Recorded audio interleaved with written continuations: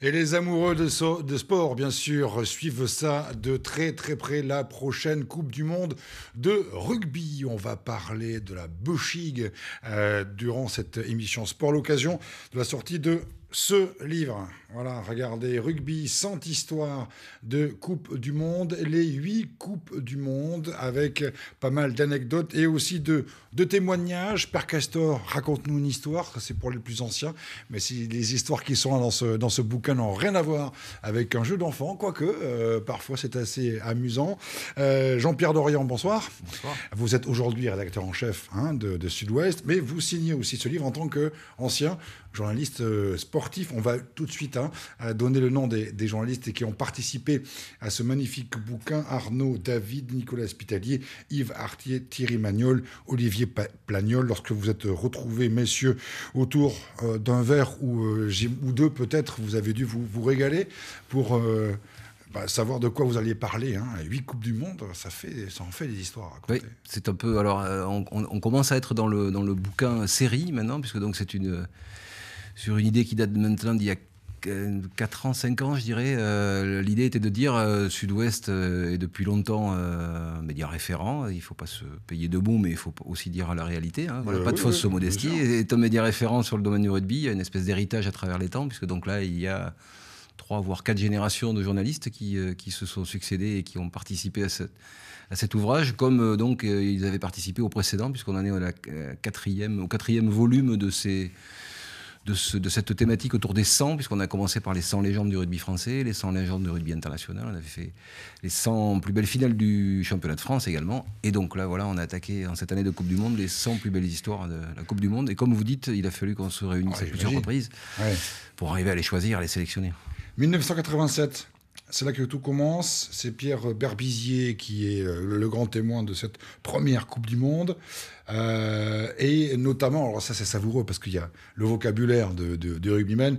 Euh, il parle d'un match contre les Fidji, qui n'était pas forcément une équipe très, très connue. Et là, il dit Ils me sont passés dessus sans m'oublier. Donc voilà, c'est vraiment des, des, des, moments assez, assez particuliers. Et ce qui est très fort, c'est qu'on se rend compte que ces joueurs-là n'oublient jamais euh, les matchs qui, pour eux, sont, importants. Ils sont capables de rejouer la rencontre. Hein. Absolument. C'était il y a plus de 30 ans. Donc Pierre Verveillier était à l'époque le demi-mêlée, euh, le personnage le plus influent de cette équipe. Hein. C'était une très très grande équipe de France en 87 avec Serge Blanco à l'arrière, Philippe Sella au centre. Enfin, j'en passe. Euh, mais il y avait vraiment des, des, stars du rugby mondial pour la peine qui jouaient dans cette équipe de France. Et le match auquel vous faites allusion, Pierre Berbizier d'ailleurs l'avait fini blessé. Et c'est une, une des très bonnes anecdotes aussi de cet ouvrage parce qu'il raconte une histoire que personne ne connaît, ne connaissait. Il, avait une entaille avec 10 points de suture, même certains à l'intérieur.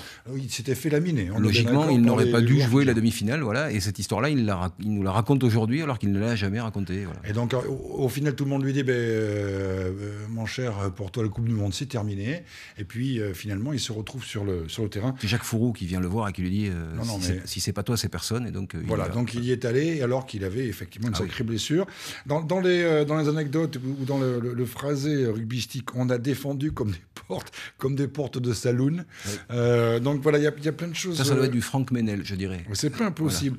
Alors au niveau anecdote, il y en a une qui est extraordinaire. Toujours en 87, nous sommes au stade d'Auckland et la les fameuses gouttières du stade d'Auckland qui sont faites, qui sont mises de telle façon que lorsqu'on met son oreille sur une gouttière, on entend ce qui se passe. À l'intérieur du vestiaire. À l'intérieur du vestiaire. Oui, ça c'est une, ça c'est les, les, petites histoires de la Coupe du Monde à une autre époque, il faut bien se le dire, hein, c'est l'époque où euh, c'est la première Coupe du Monde, absolument pas médiatisée, euh, j'allais dire à peine télévisée, quand on voit qu'aujourd'hui euh, tous les matchs sont retransmis en direct et, re-retransmis. Là, on est dans une, il y a plus de 30 ans, voilà, on est dans une période où les journalistes ont, quasiment accès à tout y compris à la proximité des vestiaires. Et donc, même si les vestiaires étaient interdits, ont la possibilité, en, en grugeant un peu en étant astucieux, d'aller mettre l'oreille là où certains avaient engagé des journalistes de langue euh, anglaise pour savoir un petit peu ce qui se disait dans, les, dans, les vestiaires. Il, y a, beaucoup d'anecdotes euh, comme, euh, comme celle-là, notamment le, les, All Blacks qui, au lendemain de leur victoire, sont allés boire l'apéro avec l'équipe de France au lendemain de la victoire pour saluer leur, leur beau match. 87. Et encore, vous avez vu, hein, euh, une, une seule euh, Coupe du Monde et déjà plein, d'anecdotes. 91, là c'est Blanco le grand témoin. Il dit Les Anglais avaient décidé de me hacher Et c'est vrai que ce match Angleterre-France en 91 et, le sort qui est réservé à Blanco, ça restera aussi dans les sinistre, hein. C'est de sinistre mémoire. C'est un quart de finale joué contre les, contre les Anglais donc à Paris et c'était une vraie contre-performance. Serge Blanco était capitaine de l'équipe. On en attendait évidemment beaucoup plus. Et ce jour-là, les Français sont éliminés notamment parce que les Anglais euh, décident de manière très claire, et Serge Blanco le dit avec ses mots, de faire une opération anti-Blanco, ce qu'ils réussissent euh, bien mener. Et puis souvenez-vous également, hein, 91, c'est aussi à ce moment-là la, la, fin des, des, des, raptous. Oui. Hein, euh, à cette époque-là.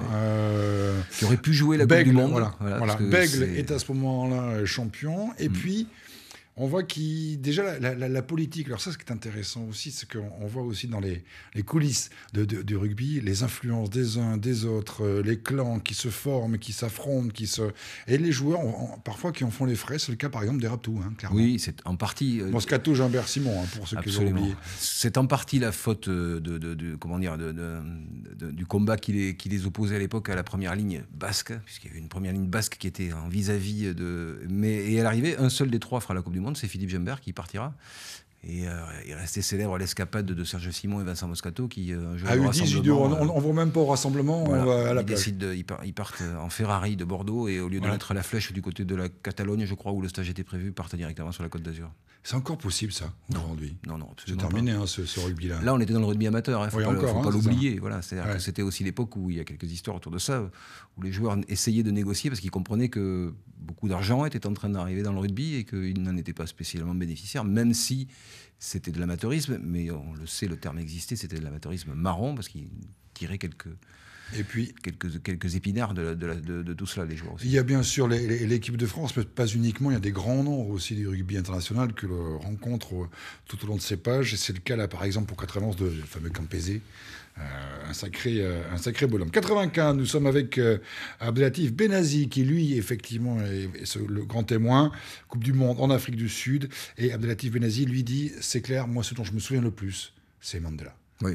Oui, c'est d'ailleurs l'image qui reste. C'est une des images fortes même de l'histoire de la Coupe du Monde, des huit éditions de la Coupe du Monde. C'est Nelson la remise de la, qui, remet la coupe. à François Pinard, le capitaine des, des box. Et ces box, les seuls qui auraient été en mesure au final de les battre et qui auraient même dû logiquement les battre. Et les Français de cette génération ne s'en sont pas remis. Ce sont les Français en demi-finale dans cette mythique demi-finale de Durban sous, la pluie euh, où, euh, où, euh, où, les, les box doivent gagner parce que, parce que la Rainbow Nation l'impose. C'est plus la politique qui fait gagner les box que le sport ce jour-là. Voilà. nous sommes maintenant en... Ah oui, il y a Lomu, tiens, en 95, hein, qui commence à faire parler de lui. Hein, le, le, phénomène euh, Lomu, John Lomu. 95, c'est aussi symbolique parce que c'est le retour de l'Afrique du Sud sur la scène internationale, qui était longtemps victime de la, contre l'apartheid, le, le, rugby international avait, avait, banni l'Afrique du Sud. C'est son retour. Il gagne la Coupe du Monde pour euh, l'organiser chez eux.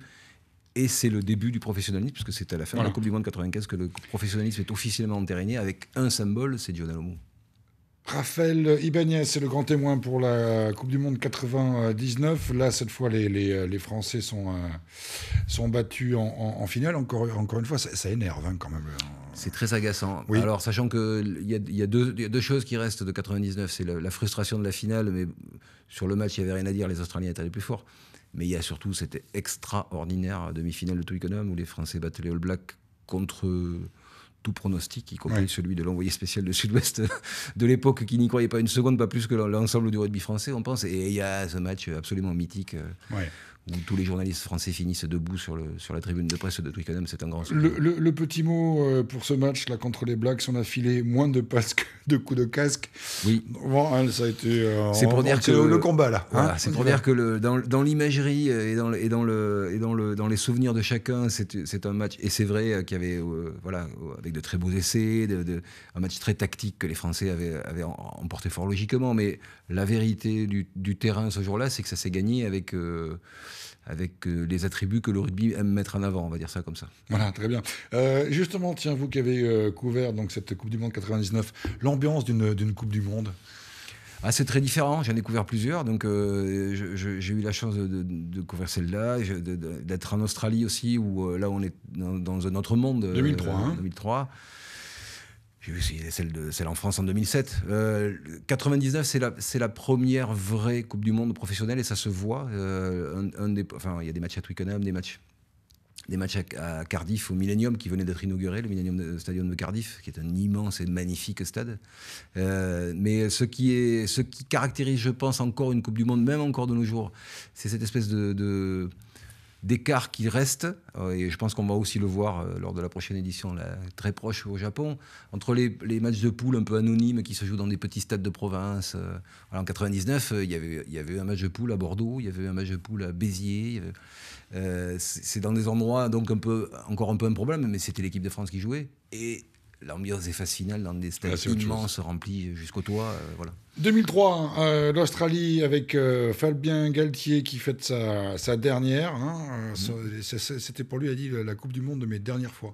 on, avance un peu parce que 2007, c'est Cédric Evans qui est avec vous, avec cette histoire de extraordinaire. Ça commence très très mal hein, face à l'Argentine pour l'équipe de, ah, de France. Plus mal. et, Contre l'Argentine, on va en reparler. Ils sont à, ils sont à Marcoussis, toute l'équipe de France. Là, ils disent, non, c'est pas possible après un match comme celui-là, les gars, il faut, il faut faire quelque chose. Il y en a quelques-uns qui disent mais on est enfermé depuis tellement de temps à Marcoussis, on n'en peut plus. Donnez-nous l'autorisation de sortir. Et ils sont allés. J'imagine la scène du tonneau, de, le gars qui tient le bar, quand même, un, bar qui s'appelle le bar Atteint. Ça ne s'invente pas. Ça pas. Et qui voit défiler, non pas un, non pas deux, non pas trois joueurs, mais toute l'équipe de France. L'ensemble de l'équipe de France. Et on imagine un petit peu l'ambiance. Euh... Une soirée euh, haute en couleur, voilà, à l'époque. Elle avait fait couler beaucoup d'encre parce qu'il parce qu'il s'était passé beaucoup de choses. Voilà, euh, j'imagine un, petit peu ce qui, ce qui a dû se passer euh, effectivement ce, jour-là. Et puis c'est Chabal, hein. oui, Chabalmania qui arrive à ce moment-là. L'Argentine, hein, c'était un match terrible.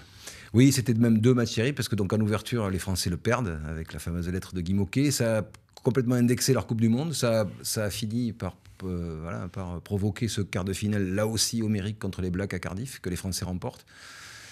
Ce qui est dommage, c'est qu'on a peut-être un peu cru hâtivement que, que, la France avait gagné ce jour-là la Coupe du Monde et on se fait taper par les Anglais en demi-finale.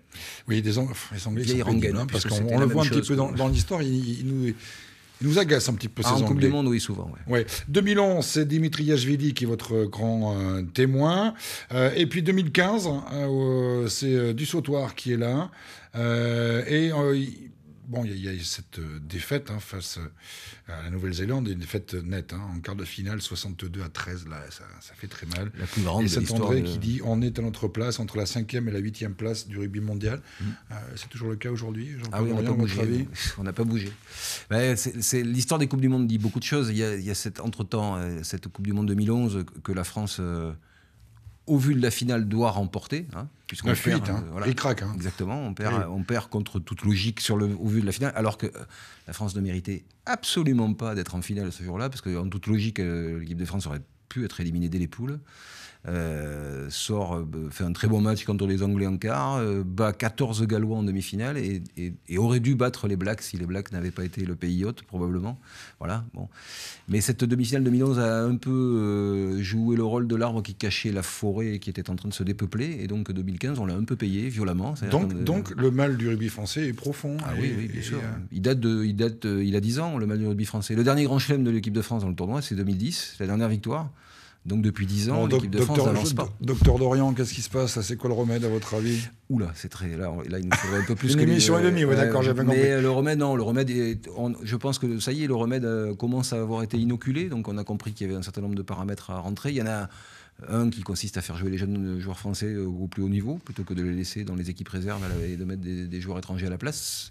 Ce n'est pas le seul problème, mais c'est un des problèmes comme est un problème la concurrence que, que, se, livre en France et nulle part ailleurs les clubs d'un côté et l'équipe de France. C'est-à-dire qu'on a deux compétitions quand je dis les compétitions internationales. Et en France, en France, on a une compétition qui est extraordinaire pour le public que nous sommes, c'est le top 14. Mais il y a un moment où euh, un joueur ne peut pas être un grand joueur de club et un grand joueur international. Réfléchissez bien à la question que je vais vous poser, que va faire euh, l'équipe de France pour cette Coupe du Monde 2019. Avant, je vous présente, réfléchissez, avant, je vous présente aussi aux éditions Sud-Ouest, encore et toujours. Là, c'est un grand plaisir. Si vous voulez euh, profiter du rugby à l'occasion de la Coupe du Monde, mais aussi être tranquille dans votre, dans votre fauteuil, regardez l'intégrale d'Ituria, hein, avec euh, tous, nos, tous nos héros du, du euh, rugby des, des campagnes, hein, si bien dessiné par, euh, par Ituria, avec ses, ses rugby pads, une idée cadeau, une idée aussi pour Ah oui. se détendre durant cette Coupe du Monde. Franchement, c'est très sympathique. Et puis le rugby, ben, ça donne lieu aussi à des, à des romans comme, comme celui-là, Les Marcassins. Ah, c'est un roman qui avait déjà été édité il y a longtemps. C'est une réédition aux éditions Sud-Ouest et qui ressort.